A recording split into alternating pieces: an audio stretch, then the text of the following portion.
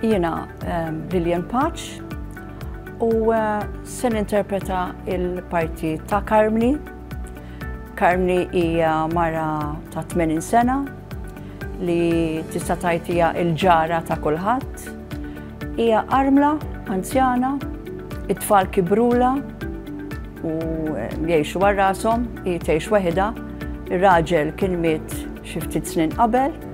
Jekk ikolli ehm, niddiskrivi lil karni fi tliet kelmiet, mara ħanina, mara li eh, ma tħobx tqasqas eh, jew tidħol f'polemiki u mara li ehm, xi ftit jew wisq iddispjaċuta għal fl-aħħar mill-aħħar l-imġieba tat-tfal tagħha.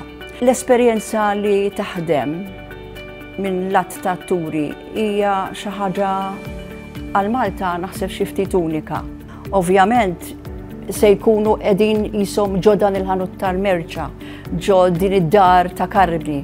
Ġifiri, tantija esperienza unika, da mux ħatala park kbir bil-prosenium, se tara tħarġ naħa wahda, se dur u dika u kol kienet challenging għalija, għalina specialment għalli jenna bela li qed diriġi li taħdem fil-spazju limitat, li taħdem kif toħroġ idejk se tmiss l-udjenza, però għal daqstant xorta l-udjenza se jkunu miġburin ma l-atturi u se jħossuhom parti mill-atmosfera u se tkun esperjenza sabiħa minn ħajjiġi għara din il-produzzjoni.